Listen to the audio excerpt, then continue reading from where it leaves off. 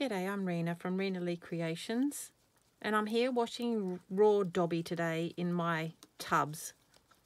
I've shown you other ways to wash it but this is probably the best way to wash small loads of it. You would have bought it in your out, Aussie Outback core and it would come out raw like this.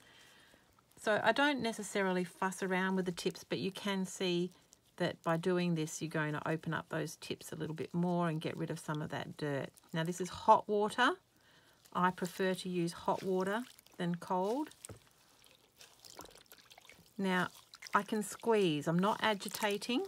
I'm just squeezing. Squeezing out as much of the surplus dirt and dust that, as I can in that first lot.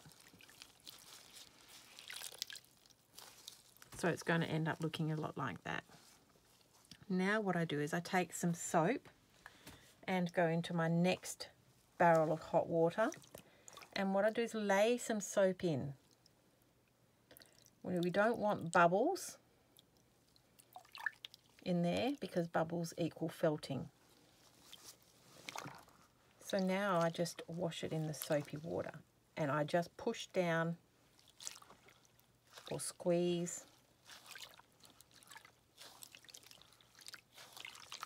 no agitation.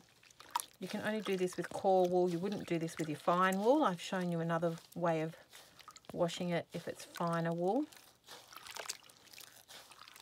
But you can certainly do this with your raw dobby. And then once you've done that, you'll find the last bits of that will actually comb out. You could wash it a second time if you like, but it's only core wool we go for a rinse. Again, nice hot water. You can see how much cleaner that is. And all of that VM that you can see in there will be able to come out towards the end when you're either dabbing it or processing it. You can see how to process it in one of my other videos. Several different ways. You don't have to have a drum carder. And then I stick that out to dry.